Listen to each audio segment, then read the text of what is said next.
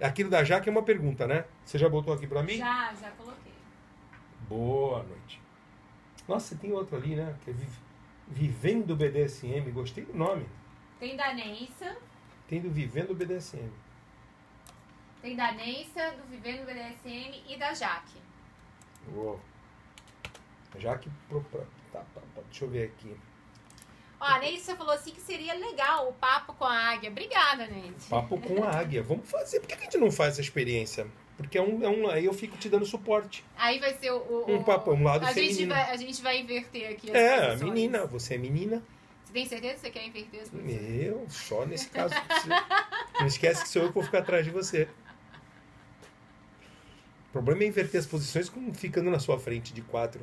E você com o aparato na cintura. Cara, peraí. Que não. Não gosta de inversão. Vamos ver aqui.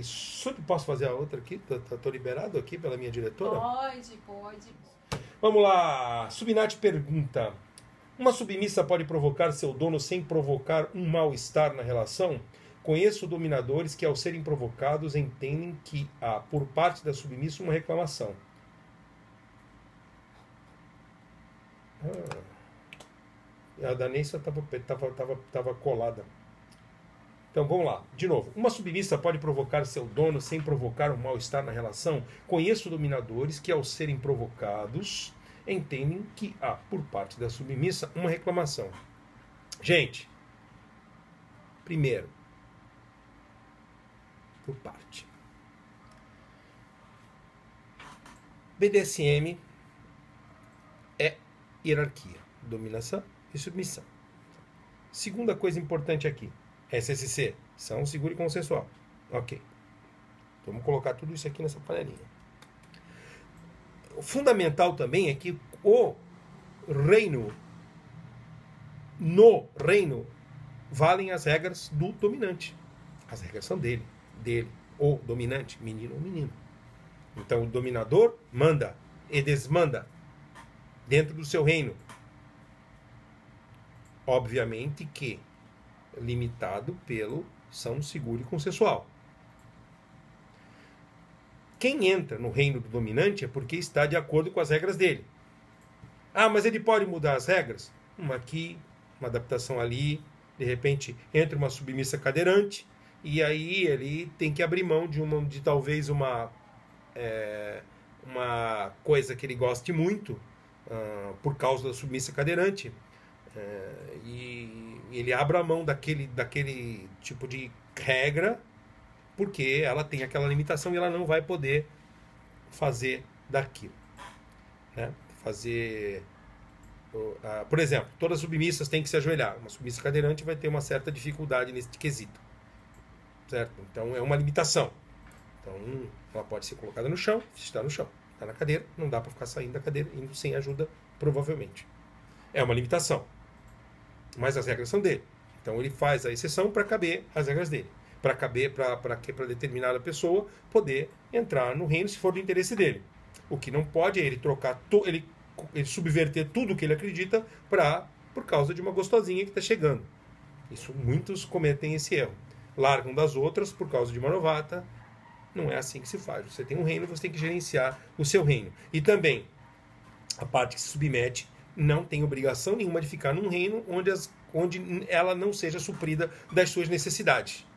Então, se de repente ela chega e o dominante inventa uma regra nova, ou tem um, um, um, uma, nova, uma nova vontade, entre aspas, e se é, ele tentar uma negociação é, daquele, daquele item específico, daquela novidade, e não for para a parte submete, e ele achar fundamental, a parte submete muda de reino. Ela sai. Ok? Então, é, é, isto tudo posto, a gente vai na questão da é, provocação. Provocação é uma palavra complexa, porque você pode dar uma- com várias conotações para ela. Conotação para quê? Conotação daquela é, da- daquela pessoa que quer que provoca a outra para ter uma, relação- uma reação violenta ou uma provocação contextualizada no caso das escravas ou das brates que ou das switchers normalmente que provocam os seus senhores no sentido de obter uma reação contextualizada de punição, disciplina, de serem dobradas e tal. Então, existe uma diferença sutil entre a provocação contextualizada, dentro de um, de uma, de um, de um, de um contexto armado, parametrizado, certinho. Então, dentro deste espaço, você pode até xingar, gritar e não sei o quê. A Aguinha, por exemplo, eu deixo vir lá do brate dela, sabe quando? Você vai falar ou eu falo? Vai, Águia Sem Filtro, sua chance. Eu? Vamos ver se ela eu, fala. Eu não lembro disso. Então. Não? Eu sempre lembro você da orelhinha assim, eu falo, pode soltar a Brate agora, o demônio que existe em você. Fala, conta para eles. Quando eu tô amarradinha? Que mais? hum? Quando eu tô presinha na cama? Que mais? Só? Fala. Vai contar? Águia sem filtro. Águia sem filtro, águia sem filtro. Aproveita. É que eu tô tímida hoje. Tá tímida hoje? Eu E você, como é que você vai fazer o águia, o papo caguinha se você tá assim? Mas assim? que você quer mais? Só tô falando aqui da provocação, que você gosta de provocar e eu tô dizendo que a sua provocação é bem-vinda quando você tá dentro de um contexto. Amarrada, amordaçada, vendada, plugada e Então. com 105 quilos de dono em cima de você falando na sua orelha. Vai, Bratizinha. Me provoca agora. Mas eu falei, você que só colocou o resto de todos os detalhes aí. Yes! É isso aí. Diversão todo tempo. Então, por quê? Porque eu não admito falta de respeito comigo fora do contexto. Faltou com respeito, pega suas coisinhas e zarpa pra casa. Eu, eu digo esta palavrinha sutil com quatro letras. Vaza. É... Sai da minha frente. Simples, eu não quero. Por quê? Porque eu, na minha condição, não gosto de ser desrespeitado. Pronto. Quer? Ah, mas é uma bra... eu é uma brate, é uma escrava, é uma suíte, é rebeldinha. Então, eu sabendo disso, eu já conheço, já mapeei e vou trabalhar nos gatilhos. O que, que você levanta esse dedo? É que a Afrodite, ela fez uma pergunta na semana passada sobre essa, Chutei que... aqui a câmera. sobre essa questão da rebeldia. Hum. Então eu queria emendar essa pergunta aqui, porque ela tem muito a ver com essa questão da, da submissa provocar. Ah, tem uma pergunta aí. É que ela fez na semana passada e ela perguntou se a gente tinha respondido. Afrodite, a gente não tinha conseguido responder, mas eu acho que eu Tá vou aqui, emendar. né? Mas você não colocou na lista. Não, mas tá aqui comigo. Ah, você não passou. É porque eu tirei print. Hum. é, porque tava caindo, não deu tempo de Hum, eu foi passar. daquelas que Foi, você é, printou e não, não soltou. Tá, ela mandou de novo? É, aí deixa Legal. eu falar aqui então. Vou te falar que você responde na sequência. Sabe que são 20 horas e 57 minutos, né? Ok, mas é só você emendar, ó. Minha pergunta, a Afrodite pergunta. Minha pergunta foi: sou submissa e meu marido Dom. Ele está começando agora no BDSM e gostaria de saber como eu atiço ele, como eu faço ele agir mais como dominante libertar mais o lado dominador dele. Hum, Sou do tipo rebelde hum. e gosto de sentir o peso da mão e da corrente. Então ela é do tipo que gosta de provocar, que gosta Hum. de ser É, mas só que é o seguinte, o problema é, é, é- é crítico. É, um, é muito complicado construir o parceiro, fabricar o parceiro, principalmente se o parceiro é dominante.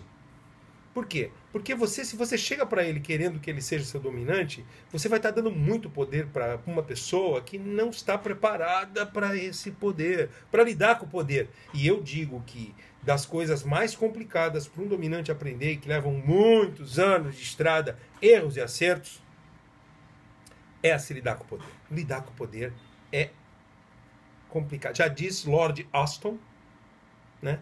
Se o poder pode corromper, o poder absoluto corrompe absolutamente. O poder, o poder pode corromper. O poder absoluto corrompe absolutamente. Então, se você chega para o seu parceiro que te conhece, você chega e dá um montão de poder para ele, você tem um problema. O que eu acho que, voltando inclusive nessa questão das regras e na questão da, da- de apresentar para o parceiro, e daqui do comentário da última, da- dessa última questão, que acho que eu vou até emendar nessa, sobre a pessoa falar para o seu parceiro que quer brincar, apresenta como um fetiche, como um prazer sexual de cama. Dê prazer limitado à cama para a pessoa. Visita sex shop, veja filminhos. Não coloca a coisa do poder como um todo, porque o indivíduo pode pirar na batatinha.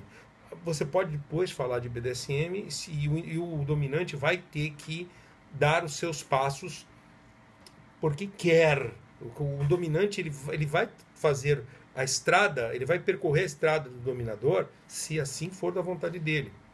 E é, e é uma estrada solitária. Eu, é, eu acho também, Afrodite, assim, é, eu acho que a melhor coisa é sempre conversar. Eu acho que você pode esclarecer pra ele que você gosta é, de algo assim mais com pegada, mais forte, de ser colocada de joelhos. Acho que você pode explicar pra ele que você realmente tem uma natureza rebelde, que precisa ser domada. Eu entendo perfeitamente isso.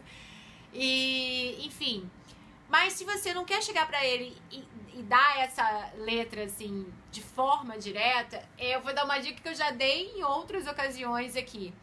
Quando eu, por exemplo, quero experimentar algo com ele, ou eu vejo algo em filme que me deixa excitado e tal, o que, que eu falo? Eu, chego, no- eu chego pra ele e falo assim, cara, mas Filminho essa, legal. que filme legal, que Dá uma olhada nesse filme, olha lá. Então, pode ser tanto... Pode ser tanto um filme Oh, isso aqui. Então, assim, pode ser tanto um filme kink, sabe? Um filme especificamente, assim, de, de mais sexual, de mais prático. Ou pode ser uma simples cena de filme. Às vezes, assim, um filme que, que nem tem uma cone- conotação fetichista ou, ou sexual, mas tem uma cena, sabe? Uma cena mais quente, assim. Ou, ou... Então, assim, comece a pegar essas cenas de filme, fotos, filminhos que você acha bacana e chega e manda pra ele, sabe? Manda pra ele com quem não quer nada. Olha aqui, amor, olha que legal isso aqui, sabe? Isso também pode servir para a submissa ali que, que, que perguntou para a subnat, né? Ela pode provocar seu dono sem provocar o mal-estar. Pois é, entendeu? Então, isso Sabe- são formas de você mostrar pra ele o, o tipo de coisa que você gosta, sem ter que falar diretamente, eu gosto disso. Se você não quer falar diretamente, então comece a dar esses sinais pra ele. Comece a mandar fotos, filmes que, contenham cenas, situações que fazem você Só para fechar a pergunta da, a perguntas da, da submissão, ela, ela perguntou: uma submissa pode provocar seu dono sem provocar o mal-estar na, na relação? Então, gente, é, falamos sobre essa coisa de falar de, de, de, de como o parceiro é, é, de como o parceiro lida com as coisas. E o parceiro dominante é o dono da, da área. Então, cuidado para quem está trazendo um parceiro dominante para brincadeira, que você fil- é, regule o poder que você vai dar para ele. Cuidado. É, jogue a coisa no, no campo dos fetiches. E no caso específico da Brat, é, da pessoa que gosta de provocar, muito cuidado para não passar do ponto do, da provocação para um contexto específico do que o desrespeito. Eu não admito desrespeito. Eu tenho controle, inclusive, até na hora que eu, que eu, que eu para ser provocado, tem que ser dentro de um contexto que eu armo. Meu reino, minhas regras. Simples assim. Então, é só vocês cê- ter isso em mente. Porque é, se alguém me provoca fora do contexto, eu não entendo como, como, como eu não entendo como reclamação, eu entendo como desafio é, e eu entendo como desrespeito. Para mim, é fim de história, é vaza da minha frente. Porque eu quero pessoas que se submetam, a princípio. Então tem que ser submissa. Ah, mas eu sou Brat. Legal, ótimo. Então, se você quiser que eu ative seu lado Brat, é dentro das minhas regras, do meu jeito, eu vou descobrir quais são os seus gatilhos e vou ficar apertando eles toda hora. Mas não é vir pra cima de mim e me desrespeitar. Joga café quente no meu colo. Cuidado, hein? A Mayra falou: opa, eu ouvi Brat? Ela falou: sempre digo isso, ser Brat não é ser sem educação, não é faltar com respeito. É isso aí. YouTube. A Mayra lembrou da do café. A do café é uma história que, que já é antiga, né? De uma maluca que jogava café para provocar o dono dela. Essa do café, meu Deus. Meu Deus, eu também Jogar acho. café é foda. Porra. Gosta dos seus dentinhos todos assim, no mesmo lugar na boca? Suas partes conectadas no corpo? Joga café no meu colo pra você ver o que acontece. Queimar na hora que chegar nos meus. Não, eu já derramei café nele, gente. Mas Não, mas não querer. pra provocar. Mas se bem que eu provoquei muito mais dano sem querer em você do que você em mim. Essa noite, por exemplo. Ela me sacaneia todo dia. Na, vou- na hora do banho, bota água fervendo. Eu chego lá, tá, tá rolando uma canja de águia. Gente, mas eu amo banho Fumegando. Abre, abre o chuveiro, aquela fumaça assim, pá, na cara. Eu, Não, é, é um problema porque ele gosta de banho frio. Você eu gosto quer de- fazer- Eu você quer de banho fazer- fervente. você quer fazer um chá de gladinhos? É isso? Ai, cara, é tão bom. É, chá de gládios. Gládios na- no vapor. Ai, ai, ai. Ai, a Mayra, camisa de força na pessoa. Também acho, Mayra, também acho. Bom, bom, Neisa pergunta. Durante a sessão, existe uma... se- Antes disso, por favor, você tem, tem algum comentário nesse Instagram que eu só tô vendo correr aqui o calma, negócio? calma. Só para não pular os comentários. Aqui, a, a Afrodite Anônima, ah, obrigada. Coisa boa encontrar vocês nessa internet. O Pois- prazer sempre é todo nosso. Ó, é, que bom ouvir isso, tá, É. Afrodite? Pois é, Águia, eu tento provocar e me colocar à disposição, dar poder. O que rola é que quando eu tenho que pedir ou falar explicitamente, perco tesão. Pois é, eu entendo isso, é, é meio chato, mas às vezes, como, ele- como vocês estão começando, vocês estão iniciando nas práticas BDSM, pelo que você falou com a gente, então eu acho que é normal nesse início você ter que conversar certas coisas com ele, porque ele precisa te mapear. Se você não fala com ele é, claramente algumas coisas, ele pode ficar assim, cara, ele pode pensar assim, ah, eu não, eu, eu não vou. A verdade sempre liberta. Eu, eu não vou pegá-la com muita, com muita força, porque eu posso machucá-la, pode não gostar, enfim. É, você precisa dar certas bases pra ele, pra ele entender o seu prazer, entender os seus limites. Agora, com o tempo, aí isso já é outra história. Mas agora no início, se vocês estão começando, se ele tá começando, você precisa dar alguns sinais pra ele claros. E uma boa conversa às vezes faz falta, entendeu? É verdade. E usa, além da conversa, de você passar pra ele lá o, o que você gosta, o que realmente dá tesão, usa essa tática do- da- das fotos e do filminho. Ó, dá Né? certo. Eu uso com ele até hoje. A gente tem nove anos de relacionamento, ele já me mapeou de várias formas. E ela me manda, me surpreende às vezes. E até Eu hoje, fico de assim, ó. e até hoje eu surpreendo ele e ele me surpreende. Até hoje a gente descobre coisas do nosso prazer, entendeu? Assim. Então, imagino vocês que estão começando agora. Se eu com ele e a gente já vive essa questão do BDSM, dos fetiches há tanto tempo. A né, última de- minha reação foi assim: sério mesmo? Então, sério? Tem certeza? Pois é. Desse então- jeito? Então imagina pra vocês. Posso que- contar pra eles o que foi? Não, não. Imagine vocês que estão começando. Então, sabe? Que Hashtag vezes, Águia Sem Filtro. Se vocês não fizerem pressão, eu sei que às vezes é chato a gente ter que conversar sobre algumas coisas, mas é necessário. Principalmente pra quem tá começando. Ele precisa mapear você e conhecer você. E pra isso você tem que falar. É Ou manda esses sinais de filminho e foto que dão certo. A Mayra sabe disso, porque ela faz isso com o dono dela também. É verdade. É isso aí. É isso aí. A Mayra falou: banho quente é a melhor coisa que tem. Sabe? Ó, E ela mandou: ó, hashtag Águia Sem Filtro. Gostam mais de você sem filtro de mim. Porque hoje que eu já sou sem filtro por É, natureza. é sem filtro. Agora estão gostando de ver você sem filtro. Ó, a Subinati também. Façam pressão que ela conta foi o último vídeo. Pois é. A Subinati também falou aqui, obrigado, senhor, obrigada, Agnes. Se Então, você, se, se a gente, quando, por que, que você não faz uma promessa assim? Faz uma, uma, uma promessa assim. O dia que a gente tiver bater 100, 100, é, gente, 100 pessoas vendo a gente no YouTube, ao mesmo tempo você fala o vídeo. Eu não, você quer pôr promessa pra eu fazer? Claro. Eu que tenho que fazer promessa? É verdade, eu acho. Eu quero te botar na. na- no- Eu que vou pro fogo quente, é, né? tô- Ou fogo quente não, pro fogo, né? Fogo quente. quente. é ótimo, não pleonasmo. não vou nem falar, podia fazer banho quente. Seu banho fervendo. É que eu pensei uma coisa e Inferno. falei outra, pô. Banho infernal. Bom, Então, ó, a Subinati falou assim, ó, obrigado, senhor, obrigada, Agnes. Estão formando um diabinho. Meu dono agradece. E você- Viu? Ela falei- gostou das dicas do filminho e das fotos. é isso aí. Falei pra você. Tem mais comentário? Vê aí pra gente ir pro próximo Pera pergunta. aí. Não, aqui não tem mais comentário. Ai, que fome.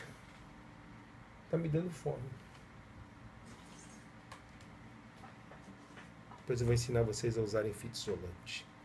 Isso aqui é legal. Tem umas técnicas. Um dia eu vou usar, vou ensinar vocês a fazer umas coisas com isso aqui. isolante. Ó, a Mária falou, ó, essa do vídeo dá certo sempre. É muito boa. É, bom? Acabou.